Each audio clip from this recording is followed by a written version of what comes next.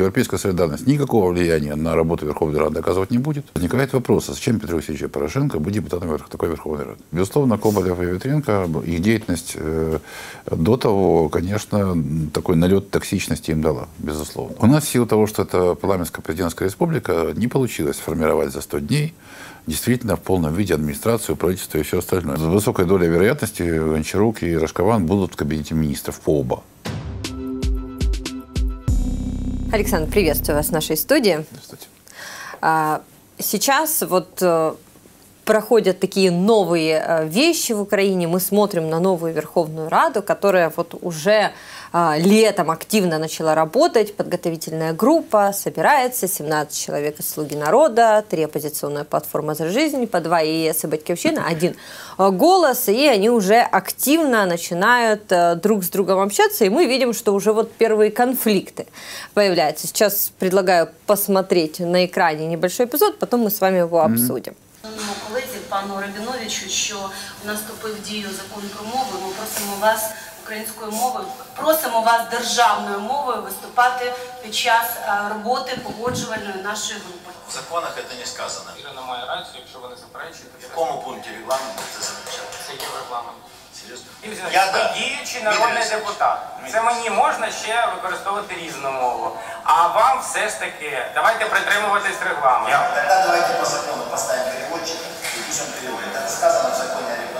Ми вимагаємо Європейська солідарність, що якщо порушується закон про регламент Верховної Ради, вимикати мікрофон. Дякую. Колеги, я пропоную закрити це питання. Все ж таки е, звертаюсь до всіх майбутніх і діючих народних депутатів не порушувати регламент Верховної Ради України.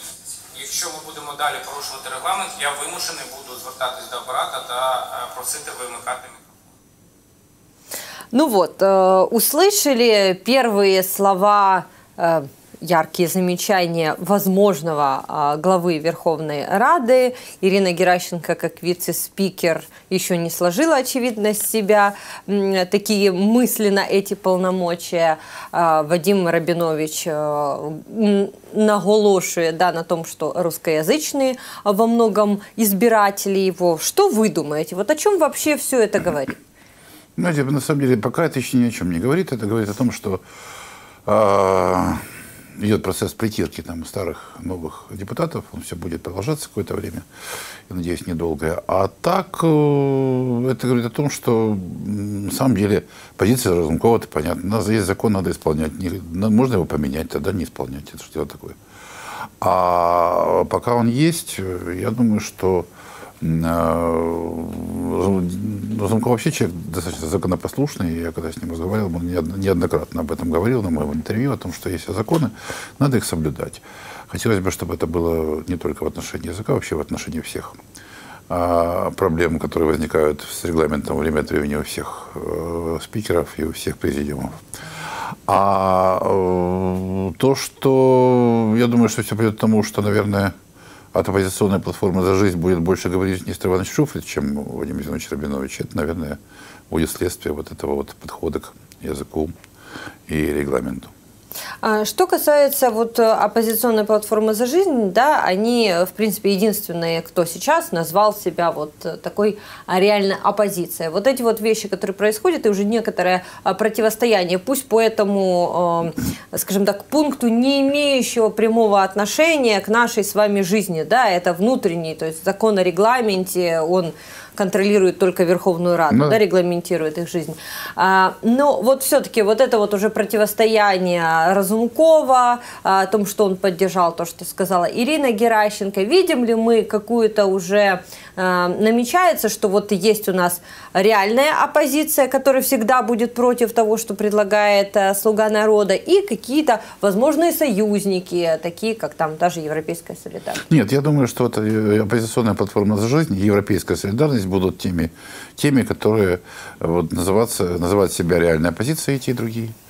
А, а то, что власть будет считать так называемой неконструктивной оппозицией. А вместе с тем, мне кажется, что в парламенте появится и конструктивная оппозиция к власти. Это оставшиеся две фракции, которые не вошли, э, ну, собственно, не, не «Слуга народа» и не эти две, то есть «Голос» и «Батьковщина». А я думаю, что «Слуга народа» будет, э, это мы увидим, я думаю, и при разделе комитетов, и при голосовании за вице-спикера о том, что вот и Европейская солидарность, и платформа будут признаны слугой народа как оппозиция, которая недостаточно конструктивна. А, что касается как раз постов для оппозиции, ну мы понимаем, закона про оппозицию нет, у нас все, кто не коалиция, все э, оппозиция. Да. Э, права их никак нигде не прописаны. А, до, э, до восьмого созыва, в принципе, какие-то комитеты глав давали. Вице-спикер даже вот там в седьмом созыве «Свобода» была, да, при том, что там партия регионов была в коалиции. Восьмой созыв решили не давать оппозиции вообще ничего. Сейчас сейчас речь идет о том, чтобы один вице-спикер, а, два комитета. Ну, еще, еще по поводу комитетов да. там решается, но да. тем не менее. Вот тут вопрос, когда у нас, а, а, возможно, будет оппозиция, конструктивная оппозиция. Помните, как у нас была демократическая оппозиция, mm-hmm. оппозиция, потом какая-то там радикальная оппозиция. Mm-hmm. Вот сейчас, как на четверых разделить два плюс один? Ну, это слуга народа будет решать, кто из них оппозиция, кто нет. Вот если они решат, что надо дать, э, что на вице-спикером должен быть представить не слуги народа, они сами решат, кто это должен быть, независимо от того, каких-то пожеланий, каких-то заявлений кого каких-либо из фракций. Мне кажется, что, по всей видимости, например, вице-спикером, мне кажется, будет представитель голоса. У меня такое ощущение. А там еще действительно два комитета и контрольная комиссия по вопросам приватизации осталась. Э, они сами разрешат. Вот в том-то дело, понимаете, у нас э, оппозиция не может себя назначить сама э, настоящей, не настоящей, какой-либо. Это, это партия власти решает, кого они видят оппозицией. Это все. А что касается вот других назначений, да, я, я единственное, что еще момент по поводу вице-спикера. Вы представляете, вот возможно, например, эм, Петр Алексеевич Порошенко вице-спикер? Или... Нет, невозможен. По разным причинам. Во-первых, Петр Алексеевич Порошенко еще надо узнать, будет ли он депутатом Верховной Рады для начала. Это еще, на самом деле, под вопросом, насколько я понимаю. А, во-первых. А во-вторых, э, ну, еще раз говорю, я не, ну, не совсем на 100%, но процентов на 80 исключаю, что э, представитель Европейской солидарности будет президентом Верховной Рады.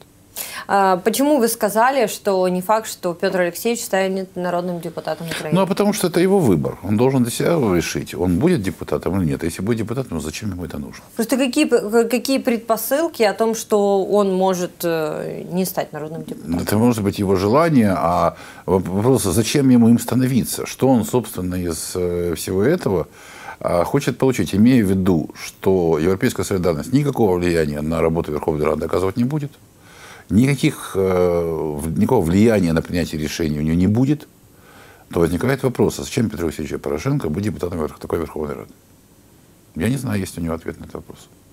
Э, что касается других назначений, э, премьер-министр у Разумкова многократно уже журналисты спрашивали, кто это, есть много кандидатур, очень э, хороших, э, профессионал нам нужен. Э, как вы думаете, все-таки по какому принципу у нас будет выбран премьер-министр? Это все-таки будет политическая должность или технократ? То есть ну, мы ведь все время на этих весах балансируем. Да, вы знаете, на самом деле решения, насколько я понимаю, нет. Поэтому то, что не говорит, это не потому, что знает, но не говорит а потому что решение еще не принято ни президентом, ни руководством э, партии. А дискуссии идут, у них внутренние дискуссии, у них идут э, обсуждения и размышления, кто это может быть. А, я думаю, что в их интересах сегодня, они, собственно, об этом там, э, заявляли, о том, что в их интересах, чтобы это было правительство экономистов и юристов, то есть, то есть это профессионалов, а не политиков а э, тем самым они будут отличаться, как они э, задекларировали от всех остальных, кто был до того. Э, вот. А кто из этих технократов, профессионалов, экономистов будет именно премьером, а кто первым вице, я думаю, что это не решат до сентября. Единственное, что очень важно, чтобы этот человек, который был не просто профессионалом в своей сфере, это само собой необходимо, необходимо еще, чтобы он, э, к нему было доверие людей, да, для того, чтобы он э, был публичным, умел быть публичным, и э, потому что все-таки премьер-министр это фигура открытая людям, да, они будут смотреть на него по телевизору не один раз. То есть наряду с президентом Зеленским, да, это вторая по публичности фигура. И он на самом деле будет таким образом олицетворять, собственно, и всю власть партии «Слуга народа» и одновременно и президента. Поэтому он важно, чтобы он смотрелся, как это не, не может быть, не, не, не смешно звучит, но тем не менее его должны, он должен быть убедительным, и он должен вызывать доверие. Плюс там быть профессионалом. Конечно. Ну вот э, те фигуры, да, которые, э, мне кажется, это Давид Арахами говорил, да, что в шот-листе у них э, есть да, Коболев, э, Ветренко, Рожкован и Гончарук, правильно? Вот да. тут, э, знаете, у меня вот некоторый такой... Э, у меня, знаете, как э, говорят среди а, девушек, надо прийти на свидание а, с, с некрасивой подругой, да? Так вот здесь вот а, Ветренко и Коболев, да, они как вот те некрасивые подруги. Может быть, они прекрасные менеджеры, но э, после всех этих э, рассказов об их э, премиях, о премиях, да. которые в Америку отправлены маме, да, Коболева. В принципе, отношение к ним у украинцев вот как раз совершенно не то, что вы говорите, да, не, не может быть доверия. Остается еще Рашкован и Гончарук, и, грубо говоря, уже, в принципе, а, социум, да, готов выбирать уже из них а, двоих, и уж точно не, не из этих. А, как вы думаете, увидим ли мы, может быть, еще какие-то фигуры не из шот-листа? Потому что каждому из них тоже много вопросов. Тот же Рашкован, да, МВФ, опять же, спорное отношение у народа к Международному валютному фонду, да, когда смотрели «Слугу народа», там, где Голобородько отправлял МВФ э, подальше, в принципе, это как раз вызывало тот отклик, да, да в душе, который да. у нас есть. Вот, вот как они с этим найдут фигуру, которая будет отвечать вот тем критериям, и чтобы воспринято еще ну, людьми было? Вы знаете, полностью, наверное, так э, это невозможно, чтобы он был одновременно умным, красивым, талантливым, ну, такой идеальным взятием. Это вряд ли. А поэтому какие-то, конечно, недостатки будут. Безусловно, Коболев и Ветренко, их деятельность э, до того, конечно, такой налет токсичности им дала, безусловно. И я думаю, что когда будут, будет приниматься это решение, это, безусловно, учтут. А что касается Рашкованова и Гончарука, это более, более, мне кажется, реально. Но тут просто надо не забывать о том, что ведь не только премьера да, мы назначаем, мы назначаем весь Кабмин. Ну, слуга народа назначает весь Кабмин. То есть это премьер, первый вице-премьер и все остальные. Я, например, с высокой долей вероятности Гончарук и Рашкован будут в кабинете министров по оба. Кто из них на какой должности, это, это мы посмотрим. Но на самом деле э, это не тот случай, когда, знаете, есть премьер-министр, который делает все сам, когда это команда премьер-министра. Это будет не команда премьер-министра, а команда Зеленского. Это очень важно понять. У каждого из людей, которые будут в кабине, будут свои роли. И в этом смысле роль первого вице-премьера, особенно если на него будут реально, а, реально он будет координировать, например, Минэкономики, Минфин и какой-нибудь Мининфраструктуры, будет реальная роль не меньше, чем премьер-министр. А премьер-министр это больше, конечно, фигура, э, я не, не могу сказать, что это выставочная, но это фигура такая публичная. Вот в этом смысле, мне кажется, вот его требования к его внешнему облику, облику, внешнему образу выше, чем, например, к образу первого вице-премьера, который на самом деле может таким публичным не быть и сидеть и работать. Поэтому это вопрос ролей, которые будут выписаны для каждого из них. Но, безусловно, назначать людей, у которых есть токсичность сильная, было бы неправильно. С другой стороны, конечно, мы у каждого из кандидатов найдем какие-то недостатки. Гончарук, например, молодой. А, Оксана Маркарова, которая сейчас министр финансов, которая заменила а, Александра Данилюка на этом посту, мы понимаем, что Александр Данилюк – это сейчас руководитель РНБО, член команды Владимира Зеленского. И вот э, ходят слухи о том, что, возможно, она может остаться на своей должности как министр финансов. Она ведь не больше года там, как не, не исполняющая обязанности, а именно министр. Что вы, как директор информагентства слышали на это? Я подтверждаю, что такие слухи есть. Нет, на самом деле это было бы, не могу сказать, логично этой команде, в конце концов, решать, кто, кто, кто кем будет. Но, насколько я знаю, к работе Маркаровой за этот год на самом деле никаких претензий особых нет вообще. Она удачно провела размещение вот недавно ценных бумаг украинских. Ербандов, и, в общем, результаты были хорошие. Она исключительно рабочий э, человек, это человек действительно не публичный, значительно меньшей степени. Ну, министр финансов, по идее, может таким и не быть. Насколько она справится дальше и захочет сама, это вопрос. Но такие действительно, такая вероятность есть. Ульяна Супрун, опять, э, что касается слухов, э, обсуждает о том, что американцы будут лоббировать и убеждают команду Зеленского оставить ее здесь у вас какая информация? Ну, знаете, это вот, э, я думаю, что это будет действительно результат длительных бесед и с американской стороной. Правда, для начала надо понять, что такое американская страна, поскольку их так, так много, люди разные, из разных мест, поэтому мне кажется, что говорить о том, что есть какая-то единая американская команда, сейчас сложно. А, но то, что такие вот настоятельные просьбы оставить Супрун есть, а, вероятность, то, что она останется, есть. Я не думаю, что она очень большая, потому что где-то все-таки, опять же, они ориентируются в том числе и на людей. Да? И мы знаем, что «Слуга народа» – это партия Зеленский, которые они очень аккуратно и очень внимательно отслеживают настроение людей. Конечно, так получилось. Деятельность э, то ли деятельность самой Ульяны Супрун, то ли ее противников политических привела к тому, что отношение к ней в стране, как мы знаем, не очень хорошее. А, с одной стороны. С другой стороны, реформа как таковая на самом деле продолжаться будет. Я имею в виду идеологические реформы. Так, об этом Радуцкий говорил уже, что мы на самом деле никто сворачивать это не будет. И в страховой медицине мы будем идти. Но э, просто наличие на таком посту министра, который олицетворяет эту реформу, человека, которому мало доверия, доверия среди людей, на самом деле эта реформа будет тормозить. И там прекрасно все это все понимают.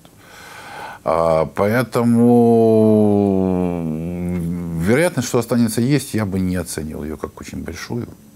Что у меня такое впечатление все-таки, мне кажется, что а, президент должен будет и команда найдут, найдут какого-то другого человека на это место.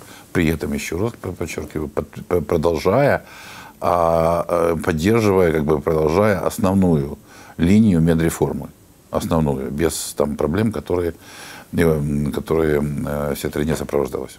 Арсен Аваков, что с ним? Тоже дискуссия идет. Вот я... Тут надо понимать, что в отличие от Супруна и всех остальных, Арсен Аваков – это человек, который не, не а, чужой для слуги народа, скажем так. Это человек, который, э, представители которого, скажем, что так, знак, знакомые которого находятся в списке а, слуги народа, люди, с которыми он работал. Поэтому он если можно так сказать, один из ее миноритарных, возможно, но акционеров этого проекта, так условно говоря. А, это первое. Второе, он а, действительно показал свою эффективность во время выборов. Третье, у него, насколько я знаю, очень неплохие отношения с нашими стратегическими партнерами, которые, я думаю, не будут против того, чтобы он остался. Мне кажется, что Аваков в составе кабинета министров будет на сегодняшний день, я не знаю, как это будет дальше. Он в составе кабинета министров э, останется. Единственное, что э, пока функции его э, как министра, мне кажется, они будут несколько изменены. Ну, я не скажу сужены, но они могут быть другие. Но вероятность того, что он останется, достаточно высокая. Последний год Арсен Аваков, в принципе, фигурировал в основном и в СМИ, да, и в риторике с такой позитивной точки зрения, а, вплоть до того, что он на президентских выборах был гарантом Конституции, да, даже, даже вот так а, ну называли. А, но если откатиться немного назад и вспомнить то, что было до этого, все эти истории с рюкзаками, противостояние Саакашвили, ну, то есть достаточно спорная фигура, он был предыдущие, да, там, э, три с половиной э, года. Вот насколько, когда голосовавшие за Зеленского ожидали полного обновления власти, вот такие вот э, моменты, если кто-то из старой команды все равно останется, и люди, ну, понимаем, что не с кристальной репутацией, можно вспомнить, как был он э, депутатом, можно вспомнить, как он был бизнесменом, эм, как, как это, насколько это будет играть все-таки на рейтинг «Слуги народа», имея в виду, что, ну, пусть не сейчас, но в следующем году должны быть еще и местные выборы, и как-то надо им продержаться.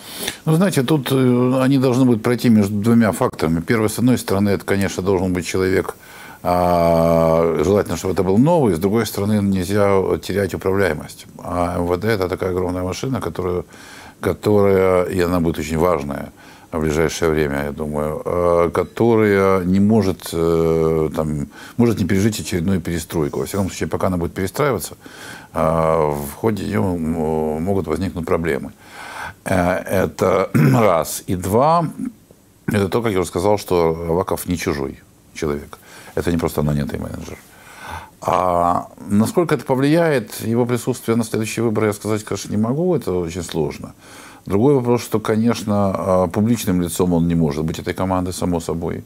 Он больше того, он не может быть просто, если он остается, то он остается один, как один из министров, а не, а, знаете, как в последнее время говорили, что он не первый, не второй, да, то есть он и не, не, уже не совсем министр внутренних дел, и еще пока не премьер.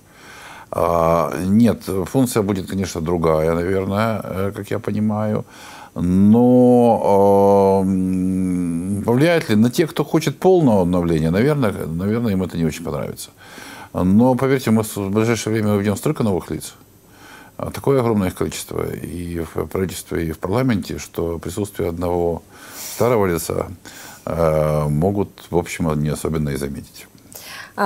Вот в данном контексте мы видели на этой неделе, как э, Зеленский был в Олевске, да, в Житомирской области, э, стоял вопрос о янтаре, который, в принципе, э, с конца 2015 года президент Порошенко, Верховная Рада 8 созыва как раз говорили о том, что вот такая у нас катастрофа, надо, значит, срочно решать. И так в течение года что-то решали, ничего не решили, и просто этот вопрос закрыли, забыли и перешли на армию мову виру, да, и бурштин как-то уже и исчез с повестки дня. А вот сейчас а, поменяли, ну, поменяют главрай администрации, а, руководство полиции, СБУ этим вопросом должно заниматься. Вы верите, что сейчас Владимир Зеленский, а, там, может быть, при содействии Авакова, там, Баканова, может вот эту вот Э, страшную схему, которая mm-hmm. работает в трех областях Украины, э, побороть и не получить вот такую ситуацию практически, как у нас есть э, в Ордло, да? Вы знаете, на самом деле это не могу, сказать, не могу сказать, что очень просто, потому что там действительно надо принимать меры сложные, в том числе не очень популярные. Но очень, очень просто, было бы желание.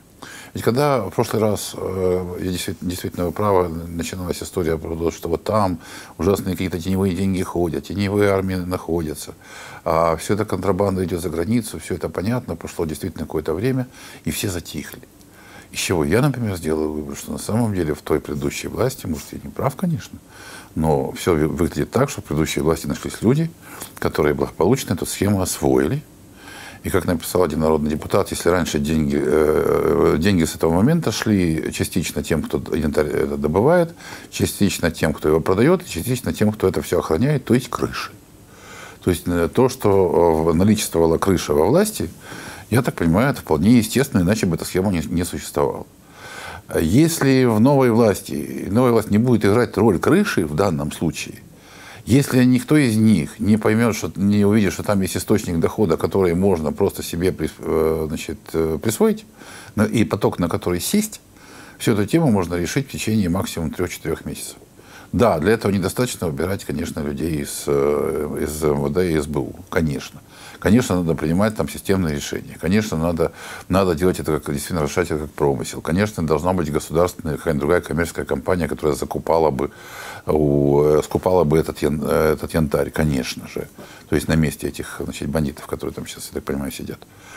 А, и, конечно, это все должно быть легализовано, и, э, и в том числе, что прекрасно повлияет на окружающую среду, чтобы там была рекультивация земель и все остальное. Это все сделать можно – и, кстати говоря, это будет один из э, таких тестов для новой власти, например, того, они эффективны или нет. Потому что если они это решат, еще раз говорю, там не просто потому, что уже долгие годы много народу на этом живет. Это же, как вы понимаете, связано с контрабандой тоже, потому что это весь янтарь, который шел за границу, он идет чем? Контрабандой. Если мы боремся с контрабандой, если он туда не пойдет, то он, собственно, теряет смысл. Вся эта вот, это, все эти бандитские армии. Тогда, ну, соответственно, Придем к тому, что люди, которые значит, э, будут заниматься добычей, будут получать свою не очень большую, но крепкую зарплату, а все остальное, функции там, торговли и все остальное, реальные деньги на этом будет зарабатывать кто? Или государство, государственная компания, или уполномоченное какое-то лицо, но совершенно открытое, публичное и не бандитское.